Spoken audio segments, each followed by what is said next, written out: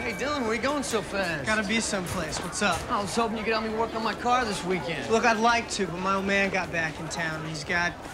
It's a long story. You don't have time to tell me about it? Not really. Oh, but you do have time to make out with my sister. Or is that just until next month when suddenly you won't have time for her either? What's your point? My point is you better really like her.